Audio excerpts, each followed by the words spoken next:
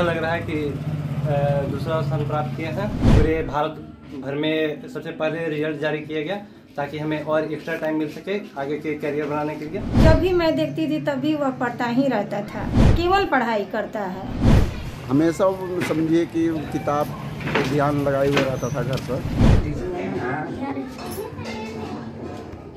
आपका बेटा बिहार में दूसरा स्थान प्राप्त किया है। कैसा महसूस हो रहा हो? क्या कहना चाहते हैं? कितना देरी पढ़ाई करता था?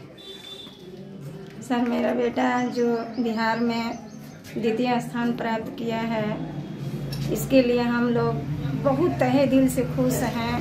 और पढ़ाई का तो उसको कहना ही नहीं है कि वो कब कब पढ़ता था। जब भी मैं देखती थी तभी वह पढ़ता ही रहता था। कोई मैं काम भी बाज़ार के लिए कोई कहना कहती तो मम्मी, पहले वो यही कहता था कि, मम्मी, यदि हमें आगे बढ़ना है तो हमें पढ़ाई, हमसे अभी बात मत कीजिए। तीन साल तक हमसे बात मत क्यों बेटा, काहे नहीं बात करें तुमसे? तो नहीं, हमको कुछ बनना है, हमको पढ़ना है। तो इसी वजह से लोगों से वो ज़्यादा न किसी से मिलता है, न जुलता है, न बात विचार करता है, केवल पढ़ाई करता है। हमेशा समझिए कि किताब पे ध्यान लगाए हुए रहता था घर पर। कभी भी मतलब कि जब देखते थे, तब मतलब कि उसका कुछ न कुछ वही मकसद रहता था कि बस मतलब काम है बस अपना जो काम है निपटारा करके उसके बाद अपना जो पढ़ाई होता है वो बस वहाँ अपना लीन हो जाता था वो अपना स्टडी रूम में बैठ जाता था। आप क्या करते हैं? ऑटो चलाते हैं।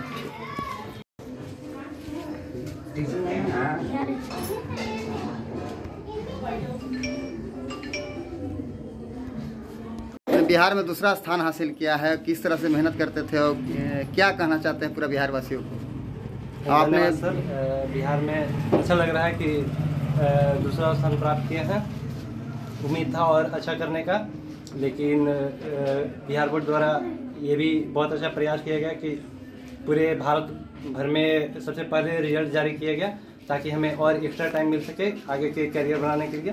तो बिहार बोर्ड के भी अपनी तरफ़ से काफ़ी धन्यवाद देना चाहूँगा आप मैट्रिक अच्छा- में भी आपका स्थान प्राप्त किए थे और मैं सबसे पहले मैं यहाँ पहुँच जाता हूँ। जी सर। बिना नंबर खोजे भी नहीं।